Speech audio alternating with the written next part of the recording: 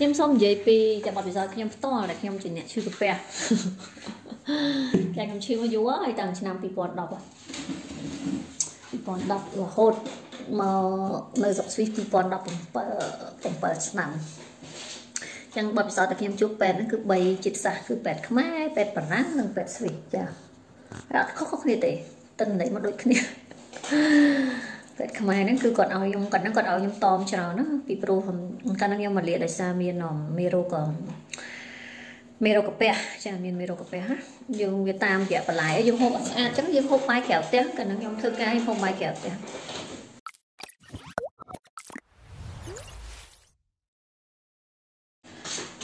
ដល់ពេលទៅខ្ញុំកើតជំងឺដំបូងខ្ញុំអត់ដឹងថាហ្នឹងឯងប៉ុន្តែខ្ញុំថប់ថប់ដង្ហើមខ្ញុំថប់ខ្លាំងហើយយប់ឡើងអីថប់ខ្លាំងមែនតើខ្ញុំស្មានតែកើតបេះដូងកើតអីណានេះ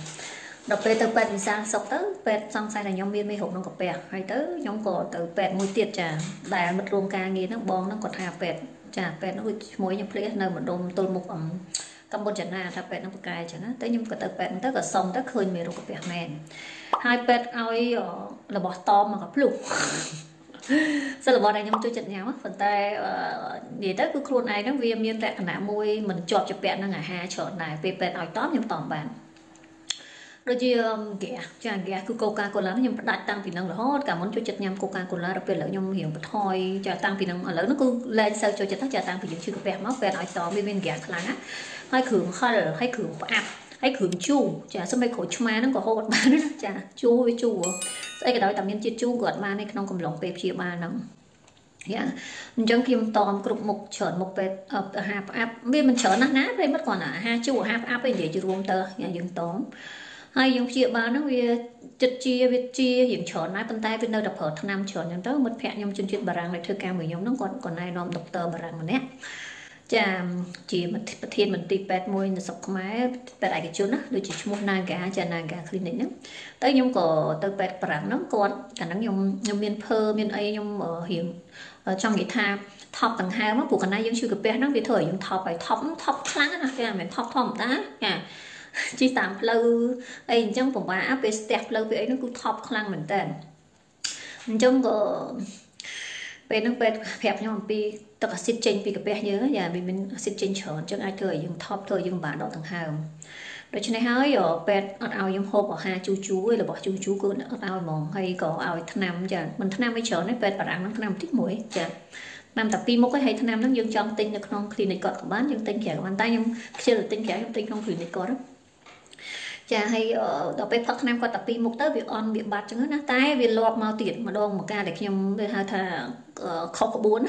ហូបអីផ្លេចគិតហ្នឹងវាមកទៀតដែរចាវាលាប់មកទៀតចឹងចឹងមិនកាពះហ្នឹងវាអត់ជាដាច់ទេកាលណាបើយើងហូបអ្វីដែលវាអាចធ្វើឲ្យកាពះហ្នឹងគេហៅថា upset ចាវាវាអង់គ្លេសថា upset ឬមួយក៏ធ្វើឲ្យកាពះយើងហ្នឹងខកចិត្ត អាប់សេតឬមួយក៏ធ្វើកាពះហ្នឹងវាវាប្រឆាំងជាមួយនឹងអាហារដែលយើងហូបទឹកអាស៊ីតវាចេញធ្វើឲ្យយើងឈឺហ្មងចាពិបាកក្នុងខ្លួនណាម្ល៉េះហើយចាអ្នកឈឺកាពះហ្នឹងប្រយ័ត្នអាហារដែលយើងហូបអាហារហិលអាហារជូរអាហារផ្អាប់ហើយនឹងហូបឲ្យរៀងទៀងទៀងទៀងពេលចាហៀបរៀងទៀងពេល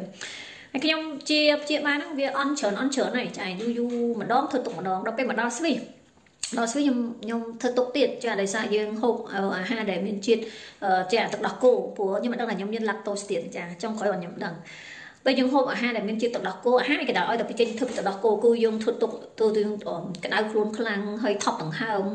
ថាលះលះខ្ញុំមិនដឹងថាត្រូវនិយាយថាម៉េចតែតែវាជាអាការៈមួយដែលយើងពិបាកក្នុងខ្លួនដល់ពេលហើយ ខ្ញុំទៅពេទ្យពេទ្យទូទៅដល់ពេលពេទ្យទូទៅហ្នឹងសង្ស័យថាខ្ញុំមានបញ្ហាកាពះយើងប្រាប់ប្រវត្តិជំងឺគាត់គេអញ្ចឹងគាត់សង្ស័យគាត់បញ្ជូនយើងឲ្យទៅដុកទ័រជាសាស្ត្រាចារ្យជំនាញកាពះពវៀននៅនៅមហាវិទ្យាល័យពេទ្យចាសាកលវិទ្យាល័យពេទ្យនៅទីក្រុងស៊ូរិកហ្នឹងគេសុំយើងមើលម្ដងទៀតចាគេសុំយើងមើលទៅ គេឃើញយើងមានឡាក់តូសគេឃើញយើងមានឡាក់តូសគេហាមមិនឲ្យយើងហូបទឹកដោះគោអាហារដែលមានទឹកដោះគោនិងអាហារជូរអាហារហិលអីចឹងណាចាពីបីមុខហ្នឹងយើងអត់ហូបទៅក្នុងកំឡុងពេលដែលយើងព្យាបាលរហូតដល់ខ្ញុំព្យាបាលបានជាច្រើនណាចាខ្ញុំគេឲ្យខ្ញុំផឹកថ្នាំប៉ាន់តូប្រាត់សុលរយៈពេល1ខែហើយដល់ពេលវាជាគាត់មកហើយយូរទៀតបាទខ្ញុំហ៊ានសាកលបងផឹកដោះគោចាឥឡូវខ្ញុំផឹកទៀតប្រិមិត្តខ្ញុំផឹកតែរៀងច្រើនតិចរៀងឆ្អល់ឆ្អល់ដូចថារៀងទូលទូលពោះយើងវាអត់សូវសនុកទេញ៉ា ហើយខ្ញុំញ៉ាំឈីច្រើនបានធម្មតាហើយដេកអីហើយចាក៏ប៉ុន្តែអាហារជូរគឺរឿងពិបាកដែរអាហារជូរខ្លាំងខ្ញុំអត់សូវអត់សូវហ៊ានសាកច្រើនទេចាអត់សូវហ៊ានសាកច្រើនទេអញ្ចឹងសរុបមកវិញចាអមពេលយើងមិនទាន់ឈឺកាពះយើងក៏ត្រូវរក្សាកាពះយើងឲ្យបានល្អដែរចាហូបម៉ែទៀងពេលកុំញ៉ាំរបស់ផ្អាប់ពេកចារបស់ហិលពេករបស់ជូរពេកអីហ្នឹងហើយដុកទ័រនៅនៅប្រទេសកូរ៉េខ្ញុំឃើញប៉ុស្តិ៍កូរ៉េហ្នឹងគេធ្វើកម្មវិធីសម្រាប់សុខភាពប្រជាជនណានៅប៉ុស្តិ៍ដូចជា SBS មែនប៉ុស្តិ៍ហ្នឹងខ្ញុំភ្លេចចាកាលហ្នឹងខ្ញុំជិតមើលប៉ុស្តិ៍កូរ៉េមានការមានមានកម្មវិធីរឿងកូរ៉េផងនិងកម្មវិធីអប់រំច្រើនផងចាមានការអប់រំផ្នែកការសិក្សាទូទៅនិងផ្នែកសុខាភិបាលអញ្ចឹងគេអញ្ជើញដុកទ័រហ្នឹងមកផ្ដល់ជាគេហៅថាមតិយោបល់ទៅដល់ប្រជាជនកូរ៉េដែលនិយមហូបអាហារហិលហិលអាហារក្តៅក្តៅហើយនឹងអាហារប្រៃពីព្រោះកូរ៉េញ៉ាំនេះច្រើនណាស់ចាញ៉ាំគីមឈីច្រើនចា អញ្ចឹងហើយជនជាតិកូរ៉េមានជំងឺលើសឈាមច្រើនភាគរយមែនតើដោយសារញ៉ាំអាហារប្រៃហើយក៏មានជំងឺកាពះដោយសារអាហារហ្នឹងវាហិលវាអីចឹងណាហើយដុកទ័របានបញ្យល់ថាកាលណាម្ហូបកូរ៉េហ្នឹងគឺជាប្រភ pom ម្ហូបដែលធ្វើឲ្យអ្នកជំងឺហ្នឹងអាចកើតជំងឺកាពះនិងលើសឈាមហើយជាពិសេសទៀត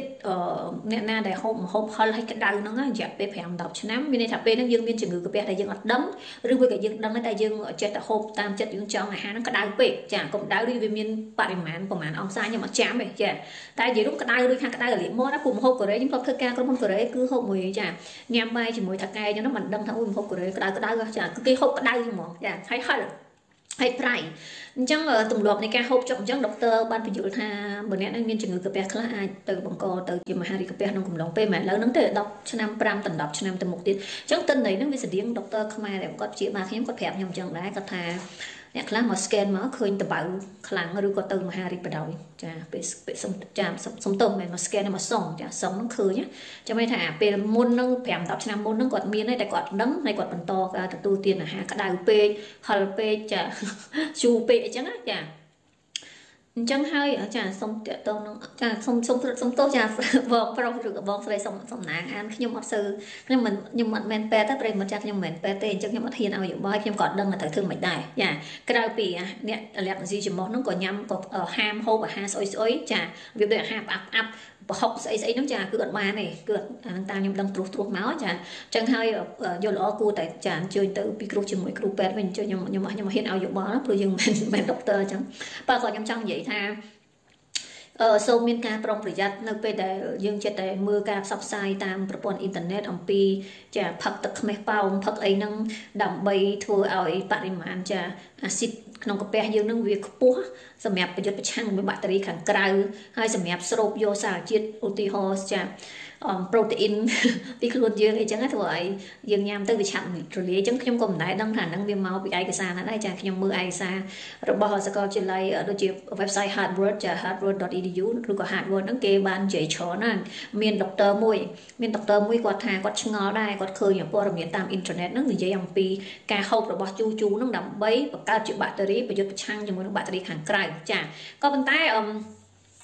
របស់ជូរហ្នឹងវាអាចអញ្ចឹងមែនណាបើសិនជាធ្វើត្រឹមត្រូវប៉ុន្តែមិនមែនជា vinegar ចា apple vinegar apple គេហៅ VCA vinegar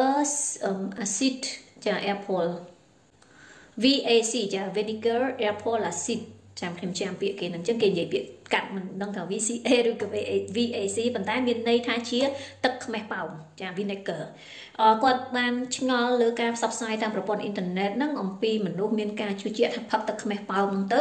ធ្វើឲ្យចាបណ្ដោះនៅចា បរិមាណអាស៊ីតក្នុងកាពះនឹងឲ្យមានកម្រិតខ្ពស់ដើម្បីប្រឆាំងទៅនឹងបាក់តេរីពីខាងក្រៅគាត់ក៏ចាប់ផ្ដើមធ្វើការស្រាវជ្រាវគាត់ថាវាអត់ត្រឹមត្រូវទេវាវាមានតែធ្វើឲ្យយើងគាត់តែឈឺថែមចំពោះទឹកខ្មេះប៉ោមនឹងចាទឹកខ្មេះប៉ោមហើយមានឯកសារមានព័ត៌មានជាច្រើនទៀតដែលនិយាយអំពីការស្រាវជ្រាវផ្សេងៗទៀតតែខ្ញុំអត់បានអានអស់ទេពួកខ្ញុំអានក៏អត់ទាន់យល់អស់ដែរយើងត្រូវប្រើឯកសារយោងផ្សេងទៀតបន្ថែមដោយសារតែវាជាពាក្យកន្លឹះនៅក្នុងវិទ្យាសាស្ត្រចាប៉ុន្តែអ្វីដែលខ្ញុំយល់នៅក្នុងការសន្និដ្ឋានជារួមមកហ្នឹងគឺក្នុងឯកសារហ្នឹងគេទៅសេថាអឺ អាហារដែលយើងជៀសវាងចាដើម្បី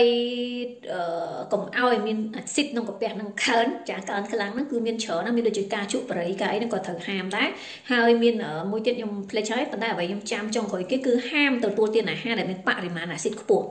អញ្ចឹងប្រិមិត្តចាហាមទទួលទានអាហារដែលមានបរិមាណអាស៊ីតខ្ពស់គេហាមយើងណាយ៉ាអាហ្នឹងបើយើងហូបអញ្ចឹងទៅយើងនឹងធ្វើឲ្យកើតចា កើនជាតិអាស៊ីតនៅក្នុងកាពះរបស់យើងដែលធ្វើឲ្យយើងឈឺចាធ្វើឲ្យយើងឈឺដូចខ្ញុំឈឺចាពេលដែលជាតិអាស៊ីតឡើងម្ដងម្ដងវេទនាពិបាកក្នុងខ្លួនដូចដូចថប់ដង្ហើមហ្នឹងគឺខ្លាំងហើយឲ្យតអ្នកឈឺកាពះចាគឺត្រូវតែភាកច្រើនថប់ដង្ហើមអាការៈហ្នឹងចេញមកតែម្ដងហើយស្វាងភ្នែកចាថប់ដង្ហើមស្វាងភ្នែកលះលះហើយអឺដូចថាយើងនឹងបែកមករហូតចាបែកយើងមករហូតហើយដូចកម្លាំងយើងនឹងមានដែរប៉ុន្តែដូចជាស្រាលស្រាលខ្លួនចាអញ្ចឹង ចឹងហើយបានថាជាតិអាស៊ីតចេញហ្នឹងមិនមែនស្រួលទេប្រិមិត្តចាហើយវិលអ្នកខ្លះគាត់វិលកលាប់ចាក់ចាគាត់វិលកលាប់ចាក់តែម្ដងគាត់ញ៉ាំអាជ្រក់អីច្រើនពេកចាគាត់ ទទួលទានជ្រក់អីច្រើនពេកអញ្ចឹងទៅធ្វើឲ្យគាត់នឹងអាចមានបញ្ហាហ្នឹងដោយសារខ្លួនគាត់នឹងមានជំងឺកាពះស្រាប់ទៅគាត់ដឹងហើយគាត់ញ៉ាំជ្រក់ជាប្រចាំគាត់គាត់គាត់ញ៉ាំជ្រក់ជារាល់ថ្ងៃអញ្ចឹងណាចាជាប្រចាំរាល់ថ្ងៃក៏ប៉ុន្តែរឿងជ្រក់ហ្នឹងនៅប្រទេសអូស្ត្រាលីគេមានលក់ជ្រក់ដែលចាដែលគេធ្វើមកត្រូវស្តង់ដាររបស់គេហើយ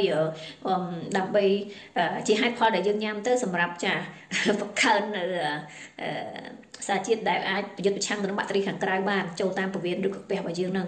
ប៉ុន្តែបើសិនជាអាហារហ្នឹងវាថ្មីខ្ញុំគិតថាប្រិមិត្តយើងមិនដូចចាំបាច់ទេបើខ្ញុំខ្ញុំទៅអត់ចាប់អារម្មណ៍ទេប្រិមិត្តអាហារណាថ្មីថ្មីអញ្ចឹងចាហើយជាពិសេសសម្រាប់អ្នកឈឺកាពះស្រាប់ទៀតទៅហូបទៅវាអត់ស្រួលទេបើអ្នកអត់ឈឺកាពះដូចមិនសូវអីទេបើសិនតែជ្រក់ធ្វើបានត្រឹមត្រូវចាក៏ប៉ុន្តែតើយើងទិញពីកន្លែងដែលអ្នកផលិតហ្នឹងគឺ ស្តង់ដារខ្លាំងមែនតើហ្មងហើយយើងប្រកាសខ្លួនឯងថាខ្លួនយើងអត់មានបញ្ហាកាពះបើមិនអញ្ចឹងទេវានឹងធ្វើផ្ដល់ជាទោសឲ្យយើងវិញចុះបើយើងញ៉ាំអាហារធម្មតាធម្មតាទៅប្រិមិត្តចាំមិនទៅនោះនេះទៅផឹកទឹកខ្មេះប៉ោងទៅហូបជ្រក់ញ៉ារាល់ថ្ងៃទៅអីរបស់ហ្នឹងគឺរបស់ប្រៃរបស់ជូររបស់ហិលរបស់អីហ្នឹងវាអត់ល្អសម្រាប់សុខភាពទេយើងញ៉ាំរបស់ដែលចា រសជាតិកុំឲ្យមុតប៉ុន្តែយើងអាចញ៉ាំអាហារអញ្ចឹងម្ដងម្កាលដូចខ្ញុំមិនសឹងវិញខ្ញុំញ៉ាំបាញ់ហយដែរនឹងចាបាញ់ហយមានអូខេបាញ់ហយមានបន្លែចាមានបន្លែមានអីដែរប៉ុន្តែសំខាន់ទឹកត្រីទឹកអីអញ្ចឹងទៅចាប៉ុន្តែគ្រាន់ថាយូរយូរម្ដងយកយកដួមានអីកុំឲ្យយើងធ្វើរាល់ថ្ងៃចាឬសំទោសមិនញ៉ាំរាល់ថ្ងៃអាចញ៉ាំរាល់ថ្ងៃបានទេកុំឲ្យយើងញ៉ាំញឹកញាប់ចាកុំឲ្យយើងទទួលទានញឹកញាប់អញ្ចឹងហើយបានថាអឺ អឺខ្ញុំចេះនឹកឃើញចេះនឹកឃើញខ្វល់ខ្វល់ខ្លះខ្លះដែរពីសុខភាពប្រជាជនពេលខ្លះគាត់មិនដឹងថាទៅជឿអ្នកណាពិបាកដែរហ្នឹងចាមិនដឹងថាទៅជឿអ្នកណាដល់ពេលអញ្ចឹងទៅឃើញអ្វីដែលច្បាស់លាស់ហ្នឹងដូចថាគួរឲ្យជឿជាក់ខ្លាំងណាគួរជឿជាក់ខ្លាំងមែនតើច្បាស់លាស់ហ្នឹងតែទីបំផុតចុះឡើងយកឡើងដំណោះស្រាយដើម្បីឲ្យចាឲ្យមានអាស៊ីតឡើងខ្ពស់ទៅផឹកទឹកខ្មេះប៉ោង ដោះស្រាយទិញទឹកខ្មេះអាទឹកខ្មេះប៉ោមហ្នឹងអាវីនីកើហ្នឹងមានណាគេទៅហូបគេយកទៅធ្វើម្ហូបទេយ៉ាគេយកទៅធ្វើម្ហូបហើយគេថែមមួយប្រេងអូលីវគេថែមជាមួយនឹងអូតាចាមូតាតគេថែមជាមួយនឹងម៉ាយ៉ូណេសស្រាចិត្តយើងថែមឯចាហើយអ្នកខ្លះថែមទឹកឃ្មុំទៀតនៅស្រុកស្វីសនេះខ្ញុំឃើញមិត្តភក្តិសាមីខ្ញុំធ្វើទឹកសសាឡាត់ហ្នឹងចាយកទឹកវីណេកើឬមួយក៏ទឹកវីណេកើទឹកទាំងបាយជូរចាមកធ្វើដោយសារវាជូរចាឬក៏ផ្លែប៉ោមមកធ្វើតែដោយសារវាជូរគេមិនអាចញ៉ាំទៅទេបានទេគេត្រូវថែមប្រេងអូលីវហើយនឹងថែមនៅសារជាតិសិនដើម្បីកាត់ជាតិជូរទៅយើងយកមកផឹកមិនវិញទេប្រិមិត្តចាហើយមួយទៀតនៅជប៉ុនហ្នឹងគេមានអាទឹកខ្មេះសម្រាប់ផឹកអញ្ចឹងមែនប៉ុន្តែវាមិនមែនជា vinegar ទេវាគឺជាដូចជាទឹកខ្មេះហ្នឹងគេផលិតមកមានកម្រិតជាតិចាជាតិអឺអាស៊ីតនោះតិចខ្លាំងបំផុតហ្មងហើយគេដាក់នៅក្នុងថ្នាក់ផ្សេងផ្សេងគ្នាចាថ្នាក់សម្រាប់ផឹកហើយនិងថ្នាក់សម្រាប់លក់ធ្វើម្ហូបគេមិនដាក់នៅជួរមួយគ្នាទេតែបើនិយាយពីចា អឺ apple vinegar ហ្នឹងអាហ្នឹងគឺទឹកខ្មេះហ្នឹងបណ្ដោយចាគេមិនយកទៅផឹកហ្នឹងគេយកធ្វើម្ហូបហ្នឹងទៅពេលខ្ញុំឃើញចាការបញ្យល់ការអីអញ្ចឹងខ្ញុំចេះតែស្រាវជំនួសពេលខ្ញុំឈឺខ្ញុំអត់ចង់ឲ្យប្រិយមិត្តឈឺកាពះតែឈឺកាពះពិបាកចាពិបាកគឺថប់ដង្ហើមហ្នឹងតែម្ដងនិយាយរួមចាឈឺអីក៏ដោយកុំឲ្យថប់ដង្ហើមថប់ដង្ហើមគឺពិបាកនៅក្នុងខ្លួនណាចាអ្នកមានទម្ងន់ហើយចិត្តគ្រប់ខែហ្នឹងគឺអាចដឹងពីអារម្មណ៍នៃការថប់ដង្ហើមហើយអាហ្នឹងយើងដោយសារយើងមានទម្ងន់តែអ្នកឈឺកាពះចាគឺថប់តែដល់ពេលត្រូវថប់ថប់អាពេលទឹកអាស៊ីតចេញហ្នឹងគឺថប់ខ្លាំងហ្មងចា ថប់ខ្លាំងមែនតើណាចាហើយជិះតាមផ្លូវអីខ្ញុំភ័យណាពេលថប់ដង្ហើមបើកឡានបើកម៉ូតូឲ្យភ័យតែចុះបើវាថប់ថប់ខ្លាំងក៏ដង្ហើមអត់រួចធ្វើមិនវិញនៅកាំងស្ញែងនៅកដាលចាផ្លូវហ្នឹងទៅចាអាចទៅគ្រោះថ្នាក់អីចឹងជាភ័យណាតែខ្ញុំនៅធ្វើការខ្ញុំភ័យឲ្យទៅពេលអាការៈថប់ថប់ហ្នឹងមកម្ដងម្ដងចឹងណាចា អញ្ចឹងហើយចាបើអ្នកមិនទាន់ឈឺកាពះគួរកំសាកអីចាហើយបើអ្នកឈឺហើយរត់តែកំសាកទៅទៀតវាគ្មានសុខភាពសម្រាប់អឺយើងទេចាហើយការហូបជ្រក់ហូបអីហ្នឹងដូចមិត្តភក្តិរបស់ខ្ញុំចាមិត្តភក្តិរបស់ខ្ញុំគាត់ចិត្តដិតមួយខ្ញុំខ្លាំងណាគាត់ប្រាប់ខ្ញុំថាមួយរយៈហ្នឹងគាត់ធ្វើមហូបច្រើនណាចា គាត់គឺជាអ្នកធ្វើម្ហូបដ៏ល្បីមួយដែលមានផេកដ៏ល្បីមួយគេស្គាល់ច្រើនខ្ញុំប្រាប់ប្រិមត្តមិនស្គាល់ផេកគាត់ចាតែខ្ញុំសូមលាក់សិនគាត់ប្រាប់ខ្ញុំថាមួយរយៈហ្នឹងគាត់ចូលចិត្តហូបជ្រក់ធ្វើជ្រក់ធ្វើអីច្រើនចុះគាត់ថតផងអីផងចាគាត់ធ្វើអឺជ្រក់ហូបអីដល់ពេលគាត់ទៅពិនិត្យ ហើយក៏ហូបអាហារមានជាតិស្ករច្រើនដែរព្រោះធ្វើម្ហូបអឺបង្ហាញអញ្ចឹងធ្វើពេលខ្លះធ្វើបង្អែមធ្វើអីប្រិមិត្តចាធ្វើបង្អែមធ្វើម្ហូបដែលត្រូវការដាក់ស្ករអីច្រើនតែដល់ពេលហើយគាត់ថាគាត់អាសា check up យ៉ាគាត់អាសា check up មែនទេព្រោះដោយសារគាត់ធ្វើម្ហូបបង្ហាញអញ្ចឹងគាត់ត្រូវ check up ឲ្យញឹកប៉ុន្តែគាត់ check up លើកហ្នឹងទៅជាជាតិស្ករអត់ឡើងតែដល់ពេលឡើងដូចជាឡើងជាតិអីមិនដឹងទេប្រិមិត្តដូចជាជាតិអាស៊ីតជាតិអីខ្ញុំភ្លេចចាខ្ញុំមិនចាំទេចា ប៉ុន្តែជាតិស្ករអត់ឡើងទេដោយសារគាត់ថាមួយរយៈហ្នឹងគាត់ហូបជ្រក់ច្រើនពេកចាគាត់អាសាហូបជ្រក់គាត់អាសាទទួលទានជ្រក់ប៉ុន្តែសំខាន់គេទៅ check up ចាគេហូបញឹកមែនតែគេអាសាទៅ check up ហើយពេលដែលឃើញថាវាឡើងកន្លែងណាគេបន្ថយមកវិញចាអញ្ចឹងប្រិមិត្តអញ្ចឹងប្រិមិត្តអាចអឺបើអ្នកណាដែលគាត់ហូបអឺអាហារដែលគ្រឿងខ្លាំងជូរប្រៃផលផ្អែមហ្នឹងគួរតែទម្លាប់អាសា check up ទៅលទ្ធផលចេញមកថាវាឡើងកន្លែងណាយើងបន្ថយអាហ្នឹងវិញហ្នឹងអត់អីចាតែខ្លាចតែយើងអត់ដឹងណាចាយើងអត់ដឹងហើយយើងបន្តទៅរហូតហើយមួយទៀត អឺសួស្តីអូនប៉ាបងគាត់ពិសាបងបងតែកន្លះកូនចានគាត់តឹងពោះរហូតហើយនៅតែឆៃសុខវាអត់មានកើតអីទេអូនអាចដឹងខ្លះទេអូនអឺខ្ញុំអត់ហ៊ាននិយាយដែរបងបើឆៃទៅអត់ឃើញហើយដឹងថាវាមានន័យថាម៉េចបើអត់ឃើញអញ្ចឹងចាមានន័យថាវាអត់មានឬមួយក៏ហ្នឹងរត់អត់ទាន់ឃើញចាអឺអាហ្នឹងវាអាចមកពីកាពះដែរចាឆាប់តឹងឆាប់ណែនហ្នឹងប៉ុន្តែដល់ពេលឧបករណ៍មើលអត់ឃើញអញ្ចឹងខ្ញុំអត់ហ៊ាននិយាយណាបងណាសំទោសណា អឺអាចអឺបើសិនឥឡូវវា Covid ទៀតយើងអាចចេញទៅក្រៅប្រទេសឬក៏អីទៅពិនិត្យមើលដើម្បីដឹងថាមកពីមូលហេតុអីបានគាត់ភាសាបបរតែកន្លះកូនចានហើយគាត់តឹងពោះចាវាអាចមានបញ្ហាផ្សេងអញ្ចឹងណាចាតែខ្ញុំអត់ហ៊ានឆ្លើយទេព្រោះយើងមិនមែនពេទ្យចាយើងមិនពេទ្យហើយយើងមិនឯកទេសហ្នឹងផងហើយសូម្បីតែឧបករណ៍រត់ឃើញហ្នឹងយើងទៅស្មាននេះហ្នឹងអស់ត្រឹមឧបករណ៍ហ្នឹងហើយប្រិមិត្តចាអស់ត្រឹមឧបករណ៍ហ្នឹងគឺឆ្លោះមើលតែឧបករណ៍មើលអត់ឃើញយើងមើលភ្នែកចឹងមិនដឹងចាអញ្ចឹងតើតែ បដូរកន្លែងថតឬមួយទៅពីគ្រូមួយពេទ្យណាផ្សេងទៀតចឹងណាចាហើយមួយទៀតរឿងលោកគ្រូពេទ្យជ័យវិជាចាលោកគ្រូពេទ្យជ័យវិជាឥឡូវដូចគាត់នៅសហរដ្ឋអាមេរិកចាលោកគ្រូតាគាត់បាននិយាយអំពីអាឆ្នាំអាឆ្នាំហូដូលេតែគេយកទៅកិនធ្វើជាម្សៅចាកិនឲ្យម៉ត់ទៅដូចម្សៅហើយគេច្បល់ជាមួយថ្នាំខ្មែរឬក៏ច្បល់ជាមួយស្អីគាត់មាននិយាយដល់ណាអាហារអំប៉ុនទៀត គាត់បាននិយាយគាត់ថាអឺអាហ្នឹងគេអាចចាស់កិនលាយជាមួយនឹងអាហារបំពន់ទៀតអាថ្នាំអាថ្នាំថ្នាំបារាំងថ្នាំបារាំងសំទោសថ្នាំបារាំងនៃថ្នាំបារាំងខូចឈ្មោះហ្នឹងគេអញ្ចឹងនិយាយថ្នាំថ្នាំតនសម័យថ្នាំសម័យថ្នាំសម័យគ្រប់គ្រប់ហ្នឹងដែលវាហួរទៅលើគឺទិញច្រើនមែនតើចាគេទិញច្រើនហើយគេຕົកស្តុកទុកមកកន្លែងគេទៅកិនឲ្យម៉ត់គេលាយជាមួយអាហារបំពន់ឬមួយថ្នាំខ្មែរទៅយើងផឹកទៅគេលក់ស្រួលចាហើយជំងឺអី ផឹកទៅជាហ្មងមានន័យថាឈឺអីក៏បាត់ដែរហេតុអីព្រោះអាហ្នឹងមានថ្នាំស្អីជាតិញៀនសារធាតុញៀនហ្នឹងវាបាត់វាបាត់នៅរោគសញ្ញាតែតែវាមានទៅបាត់ជំងឺស្អីចាគេមានតែចង់ឲ្យដឹងរោគសញ្ញាដូចទីហោបងស្រីគាត់សួរថាពុកគាត់ទទួលទានបបរហើយអឺតឹងពោះប៉ុន្តែដល់ពេលទៅបណ្ឌិតទៅអត់ឃើញអីចាអញ្ចឹងអត់ឃើញអីហ្នឹងក៏ពិបាកដែរយើងចង់ឃើញចាក៏ប៉ុន្តែនៅពេលដែលយើងទទួលទានអាថ្នាំអញ្ចឹងអញ្ចឹងអាចំនួនកៅជាងប្រិមិត្តខ្ញុំនៅក្មេងៗចា ខ្ញុំនៅក្មេងៗខ្ញុំចាំគឺមានគេល្បីលក់អាឆ្នាំសូនប្រិមិត្តឆ្នាំសូនខ្មៅខ្មៅអាដាក់ថងចាដាក់ថងហើយសូនខ្មៅខ្មៅកាលហ្នឹងខ្ញុំអាយុ10ឆ្នាំទៀតនេះចាហើយមាន ប្រជាជនយើងតែងច្រើនប៉ុន្តែឪពុកខ្ញុំគាត់ធ្វើពេទ្យដែរយើងគាត់ដឹងគាត់ថាអាហ្នឹងគេយកអាថ្នាំហួសទៅលេហ្នឹងគេទៅកិនដែរហើយឪពុកខ្ញុំធ្លាប់និយាយប្រាប់ចានៅក្នុងក្រុមគ្រួសារហ្នឹងគឺហាមផ្ដាច់កុំឲ្យទៅទិញអាថ្នាំហ្នឹងយកមកលេបចាព្រោះអាហ្នឹងវាធ្វើឲ្យយើងហូបបាយបានសម្រាប់លក់ស្រួលចាឈឺស្អីក៏បាត់ដែរព្រោះហេតុអីវាមិនមែនជាថ្នាំព្យាបាលទេវាគ្រាន់តែជាសារជាតិញៀនមួយយ៉ាងដែលលេបទៅបំបត្តិភាពឈឺចាប់ ដែលយើងមានហើយលោកគ្រូពេទ្យជ័យវិជានោះគាត់ថាគ្រូថ្នាក់ណាចាគ្រូថ្នាក់មែនតើដែលយើងយើងទិញអីអត់ដឹងប្រភពច្បាស់លាស់ចាហើយគាត់ថាអាចមានក្នុងអាហារអំប៉ុនព្រោះក្នុងអាហារអំប៉ុនយើងមិនដឹងវាកិនមាត់ទាំងអស់នោះចាវាដូចម្សៅទាំងអស់ហើយអាហារអំប៉ុនអត់មានជាថ្នាំទេណាចាវាគាត់អាចជា អាហារជួយយើងអ្នកហូបអីមិនកើតហូបអាហារអំពន់និយាយខ្លីទៅប៉ុន្តែដល់ពេលវាផឹកទៅជា100មុខគាត់ថាវាអាចយកអាថ្នាំពេទ្យអាហូសដលេហ្នឹងមកកិនច្បល់ចូលគ្នាលាយជាមួយសារទៀតហាអំពន់ដាក់កំប៉ុងលក់ឲ្យយើងឃើញទេប្រិមិត្តគ្រោះថ្នាក់ណាចាគ្រោះថ្នាក់ខ្លាំងមែនតើហើយគេមើលឃើញថាមកសបកកូវីដហ្នឹងគឺប្រជាជនខ្មែរស្លាប់ច្រើនណាចា ដោយសារអីដោយសារតែរាងកាយយើងវាសុខភាពយើងមិនស្មមតមដល់ពេលអាមេរោគនឹងវាយចូលផ្លុកមកវាទៅកំទេចសរីរាង្គយើងបានលឿនណាចាអានោះបើរាងកាយយើងមមតមអត់ស្អីចាប៉ុន្តែដោយសាររាងកាយយើងខ្សោយដោយសារយើងអមដូចជាអ្នកដែលធ្លាប់ផឹកអាថ្នាំសូនថ្នាំអីហ្នឹងផឹកហើយសុខភាពអត់សូវល្អទេយ៉ាអាចទទួលជំងឺនេះជំងឺនោះច្រើនណាអាថ្នាំធ្វើឲ្យបាយបានសម្រាប់លក់ស្រួលអីហ្នឹងចាហើយដល់ពេល ពេលអាមេរោគ COVID ហ្នឹងវាយលុកមកអញ្ចឹងទៅវាទៅឆាប់ធ្វើឲ្យប្រព័ន្ធការពីពីផ្សំហ្នឹងវាខ្សោយវាខ្សោយអញ្ចឹងវាវាយលុកទៅដល់សរីរាង្គយើងបានលឿនខ្លាំងមែនតើអញ្ចឹងបានមានអ្នកស្លាប់ច្រើនណាប្រិមត្តចាមានអ្នកស្លាប់ច្រើន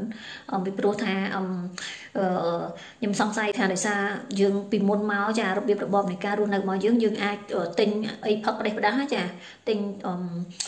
ដូចថា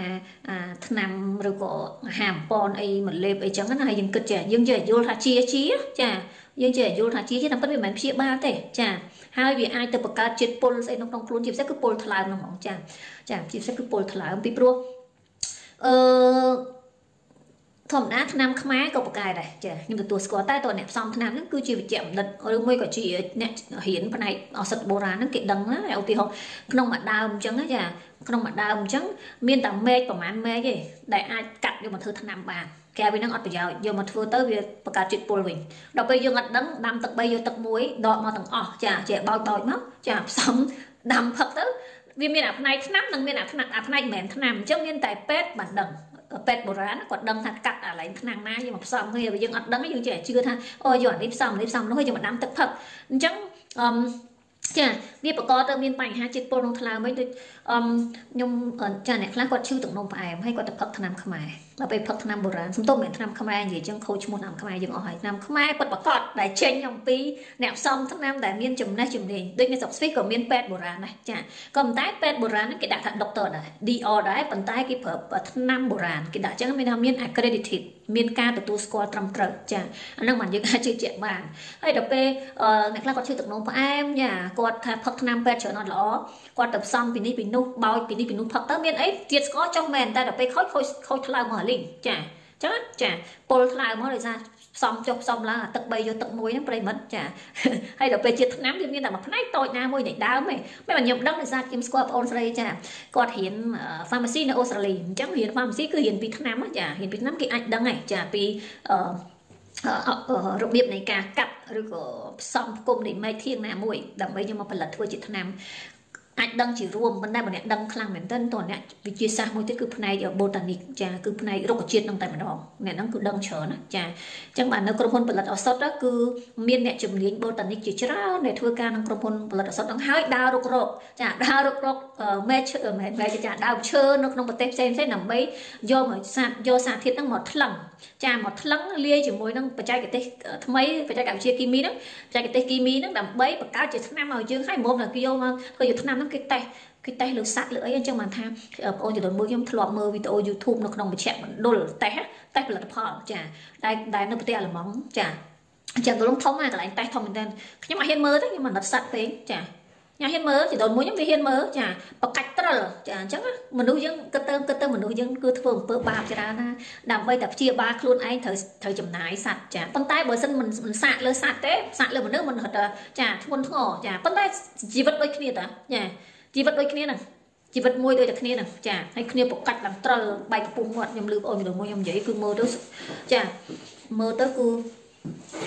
ចាមើលទៅគឺស្ដាយហ្មងស្ បែកកំពុះមាត់ត្រលបកាច់ហ្មងគេគេតេះចាគេតេះមួយសាក់អញ្ចឹងអញ្ចឹងបានន័យថាឆ្នាំតម្រាំតែគេចេញមួយមួយហ្នឹងគេយកធាតុខ្លះខ្លះនៃមែកឈើមកផ្សំគុំជាមួយនឹងសារជាតិគីមីហើយគេថ្លឹងទៀតបរិមាណគេច្បាស់លាស់ហ่าចា